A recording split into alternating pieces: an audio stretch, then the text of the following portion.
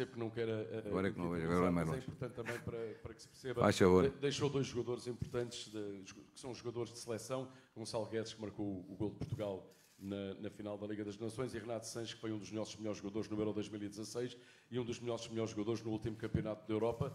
Ahm, por exemplo, porquê é que leva Mateus Nunes e não leva Renato? Não, mas não vou, Eu penso não- que os portugueses gostavam de saber. Eu sei Sim, mas não vou, não vou agora dizer porque é que vou levar um ou levar outro. Eh, Não me parece isso, sinceramente. Nem não ficaria bem, não é só para quem ficou de fora, mas também para ficou de quem, quem, quem está dentro. Quer dizer, não, me parece isso. Não, Eh, eu sei que levo, por exemplo, os novos jogadores que nunca tiveram numa competição numa fase final, mas isso já aconteceu também em 2016, já aconteceu em 18, já aconteceu em 20, já aconteceu em 19, levar jogadores à fase final que nunca estavam presentes numa fase final.